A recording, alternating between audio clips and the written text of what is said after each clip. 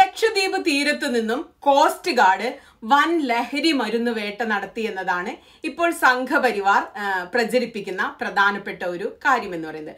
ലക്ഷദ്വീപിലെ ജനങ്ങളെ പീഡിപ്പിക്കുന്നതിനുള്ള ഒരു കാരണമായിട്ടാണ് ഒരു ന്യായീകരണമായിട്ടാണ് ഇവരിത് പറയുന്നത്. അത് എത്രത്തോളം ശരിയാണെന്ന് നമുക്കൊന്ന് പരിശോധിച്ച് നോക്കാം. ശ്രീലങ്കയിൽ നിന്നും ഇന്ത്യയിലേക്ക് മയക്കുമരുന്നും ആയുധങ്ങളും കള്ളക്കടത്ത് നടത്തുന്ന കാര്യത്തെക്കുറിച്ചാണ് ഈ വാർത്ത. ആ വാർത്തയാണ് ലക്ഷദ്വീപുകാർ എന്തൊക്കെയോ വലിയ കുറ്റകൃത്യങ്ങൾ നടത്തുന്നു. അവരെ നിലക്കി നിർത്താൻ വേണ്ടി ഈ ഗുണ്ട ആക്ട് ആവശ്യമുണ്ട് എന്ന രീതിയിൽ ഇപ്പോൾ സംഘപരിവാർ പ്രചരിപ്പിക്കുന്നത്.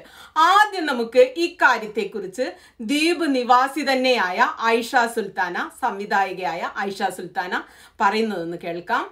ലക്ഷദ്വീപുകാർ പറയുന്നത് എന്ന് വെച്ചാൽ പുതിയ അഡ്മിനിസ്ട്രേറ്ററിന്റെ വരവോടുകൂടി നമ്മളുടെ പ്രോട്ടോകോൾസ് കോവിഡ് പ്രോട്ടോകോൾസ് ഒക്കെ മാനദണ്ഡങ്ങൾ ലംഘിച്ചുകൊണ്ടാണ് ആളുടെ വരവ്.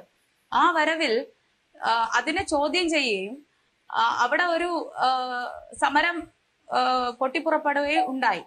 ആ സാഹചര്യത്തിൽ അവരെ ഒതുക്കാൻ വേണ്ടിയിട്ട് അന്ന് ആൾ കൊണ്ടുവന്ന ഒരു ആക്ട് ആണ് ഈ ഗുണ്ട ആക്ട്. ഇന്നിപ്പോ പല ആളുകളും ഞാൻ കണ്ടിട്ടുണ്ട് പലരും പോസ്റ്റ് ചെയ്യുന്നത് ഞാൻ കണ്ടിട്ടുണ്ട്.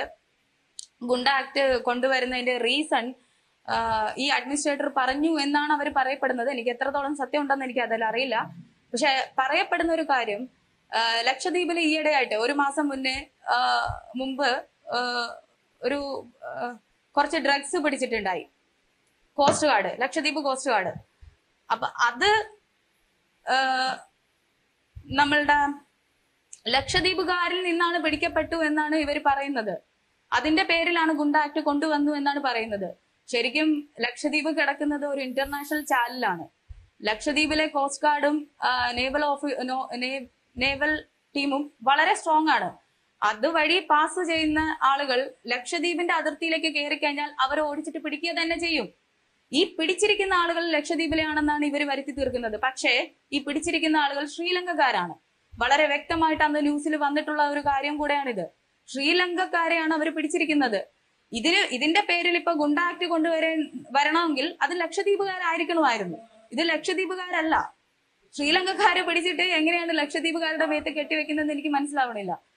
അത് കൂടാതെ അടുത്തൊരു കാര്യം അങ്ങനെ ഒരു നിയമം കൊണ്ടുവരികയാണെന്നുണ്ടെങ്കിൽ രണ്ടായിരത്തി പന്ത്രണ്ടിൽ കൊണ്ടുവരണമായിരുന്നു രണ്ടായിരത്തി പന്ത്രണ്ടിൽ മിനിക്കോ എന്ന് പറഞ്ഞ ഐലൻഡിലേക്ക് വന്നു കയറിയത് സൊമാലിയക്കാരാണ്.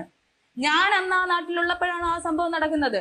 അന്ന് സൊമാലിയക്കാർ വരികയും അവരുടെ ഷിപ്പിൽ ശ്രീലങ്കക്കാര് പന്ത്രണ്ട് പേരെ പിടിച്ചടക്കുകയും ചെയ്തിട്ടുണ്ടായി. അന്നും അവരുടെ കയ്യിൽ ആയുധങ്ങൾ ഉണ്ടായിരുന്നു. അന്നും ഞങ്ങളുടെ പോലീസ് ഓഫീസേഴ്സ് ആണ്. ഞങ്ങൾ അഭിമാനത്തോടു കൂടെ പറയുന്നു ഞങ്ങൾ ലക്ഷദ്വീപ് പോലീസ് ഓഫീസേഴ്സ് ആണ് അന്ന് അവരെ പിടിച്ചത്. അന്ന് എന്തുകൊണ്ട് ഇവർ പറഞ്ഞു പരത്തിയില്ല? അതൊക്കെ ലക്ഷദ്വീപുകാരാണ് ചെയ്തതെന്നുള്ളത്. അന്ന് ഈ പിടിച്ച ആളുകളെ കംപ്ലീറ്റ് ഡൽഹിയിലേക്ക് കൈമാറുകയും ചെയ്തു. അന്ന് എന്തുകൊണ്ട് ഇവരാരും ഗുണ്ട ആക്ട് കൊണ്ടുവന്നില്ല? ഇതൊക്കെ ചെയ്തത് ലക്ഷദ്വീപാണെന്ന് ഇതേ ശിവശങ്കർ പോലെയുള്ള സാറന്മാര് പറഞ്ഞില്ല. അപ്പോ ഗുണ്ട ആക്ട് കൊണ്ടുവന്നിരിക്കുന്നതിന്റെ മെയിൻ ലക്ഷ്യം അതൊന്നുമല്ല. ലക്ഷദ്വീപിന്റെ പ്രൊട്ടക്ഷൻ ലക്ഷദ്വീപിന്റെ അതാണെന്ന് പറയാൻ എനിക്ക് ബുദ്ധിമുട്ടുണ്ട്. പേഴ്സണലി എനിക്ക് വളരെ ബുദ്ധിമുട്ടുണ്ട്. കാരണം എന്റെ ജനം ഒരിക്കലും അത് സമ്മതിച്ചു തരികയില്ല. അവർ വളരെ വ്യക്തമായിട്ട് അവർക്കറിയാം ഗുണ്ട ആക്ട് നടപ്പിലാക്കിയിരിക്കുന്നത് പുതിയ അഡ്മിനിസ്ട്രേറ്ററിനെതിരെ ആര് ചോദ്യം ചോദിക്കുന്നു? അവരെ നിയമ നിയമപരമായി ഒതുക്കി അകത്തിടുക എന്നുള്ള ലക്ഷ്യം തന്നെയാണിത്. ഈ കേസിലെ പ്രതികൾ ആരും ലക്ഷദ്വീപിലെ നിവാസികളല്ല. അജ്മൽ ഖാൻ ഇതേക്കുറിച്ച് വളരെ വിശദമായിട്ട് ഒരു കുറിപ്പ് എഴുതിയിട്ടുണ്ട്. അതുകൂടി നമുക്കൊന്ന് വായിക്കാം.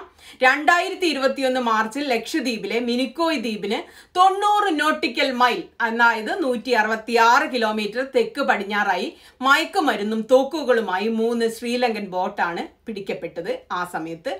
ബോട്ട് പിടിക്കപ്പെടുന്നത് അന്താരാഷ്ട്ര കപ്പൽ റൂട്ടിലാണ്. ഈ വഴിക്ക് പോകുന്ന അനാവശ്യമായ എല്ലാ സാധനവും പിടിക്കും. ഈ സംഭവവുമായി പിടിക്കപ്പെട്ടവർ മുഴുവൻ ശ്രീലങ്കക്കാരാണ്. ഒരു ലക്ഷദ്വീപുകാരൻ പോലും ഈ സംഭവത്തിലോ തുടർന്നുള്ള ചോദ്യം ചെയ്യലിലോ ഒന്നും പിടിക്കപ്പെട്ടിട്ടില്ല പ്രതി ചേർക്കപ്പെട്ടിട്ടില്ല.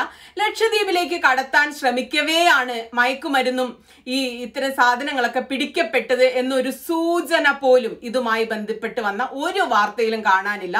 പാകിസ്ഥാനിലെ ബലൂചിസ്ഥാൻ കേന്ദ്രീകരിച്ചുള്ള മാഫിയ ഇന്ത്യൻ കടലിലൂടെ ശ്രീലങ്കയിലേക്കും അങ്ങോട്ടും ഇന്ത്യയിലേക്കുമൊക്കെ മയക്കുമരുന്ന് കടത്തിയതാണ് ഈ സംഭവം എന്ന് പറയുന്നത്.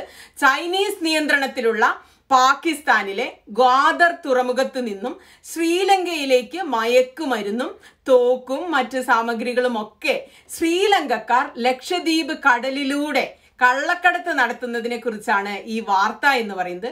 ഈ വാർത്തയെയാണ് സംഘപരിവാർ വളച്ചൊടിച്ചുകൊണ്ട് ലക്ഷദ്വീപുകാരുടെ തലയിൽ വെച്ചുകൊണ്ട് ഇപ്പൊ ഇങ്ങനെ വലിയ തോതിൽ പ്രചരിപ്പിച്ചുകൊണ്ടിരിക്കുന്നത്. കഴിഞ്ഞ നവംബറിൽ കന്യാകുമാരിക്ക് അടുത്ത് വെച്ചും കടലിൽ വെച്ചുമൊക്കെ മയക്കുമരുന്ന് കടുത്തുകയായിരുന്ന ശ്രീലങ്കൻ ബോട്ടുകളാണ് ശ്രീലങ്കക്കാരുടെ ബോട്ടുകളാണ് ഈ പിടിക്കപ്പെടുന്നത് മുഴുവനും. ഇറാനിലെ ചബഹാൻ തുറമുഖത്തു നിന്നും ശ്രീലങ്കയിലേക്ക് മയക്കുമരുന്ന് വരുന്നുണ്ട് എന്നാണ് വാർത്തകളിൽ നിന്നും നമുക്ക് വായിച്ചിട്ട് മനസ്സിലാകുന്നത്. ഇതുകൂടാതെ പതിനഞ്ച് ഐ എസ് തീവ്രവാദികളുമായി ഒരു ശ്രീലങ്കൻ ബോട്ട് ലക്ഷദ്വീപിലേക്ക് പുറപ്പെട്ടു എന്ന രഹസ്യ അന്വേഷണ വിവരം ഉൾക്കൊള്ളുന്ന ഒരു വാർത്ത കൂടിയുണ്ട്. ഈ വാർത്തയുടെ സ്ക്രീൻഷോട്ടും സംഘപരിവാർ വളരെ വ്യാപകമായി പ്രചരിപ്പിക്കുന്നുണ്ട്. ഈ വാർത്തയിൽ ലക്ഷദ്വീപ് നിവാസികളെയും ഐ എസിനെയും തമ്മിൽ ബന്ധിപ്പിക്കുന്ന യാതൊരു സാധനവും വാർത്തയിലില്ല. രണ്ടായിരത്തി പതിനാറിൽ ഐ എസ് അനുകൂലി എന്ന് സംശയിക്കുന്നയാൾ ലക്ഷദ്വീപ് സന്ദർശിച്ചു എന്ന രഹസ്യാന്വേഷണ റിപ്പോർട്ടിനെ തുടർന്ന് ദ്വീപിൽ സുരക്ഷ സുരക്ഷ കർശനമാക്കിയിരുന്നു അത് ലക്ഷദ്വീപുകാരനല്ല.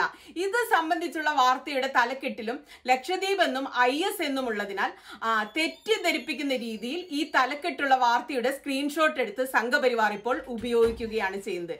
ഇതൊക്കെയാണ് സംഘപരിവാറിന്റെ പണികൾ. നമുക്ക് മുമ്പ് അറിയാവുന്ന കാര്യമാണ്.